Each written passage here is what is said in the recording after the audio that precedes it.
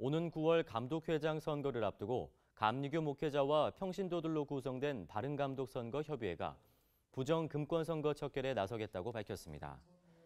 바른감독 선거 협의회는 아멘 감시단을 조직해 후보자의 선거운동 활동을 감시하고 인터넷 부정선거 고발센터를 개설해 부정선거를 고발할 수 있게 하는 등 선거 부정을 근절하는 데 힘쓸 것이라고 설명했습니다. 또 부정선거를 적발했을 경우에는 증거물을 확보해 법적 소송에도 나설 방침입니다. 협의회 총무인 지학수 목사는 지난 8년 동안 감독 선거 관련 소송이 106차례나 진행되는 등 선거 부정을 척결하기 위한 교단 법적 장치가 미흡하다며 보다 실천적인 개선 활동에 나설 것이라고 말했습니다.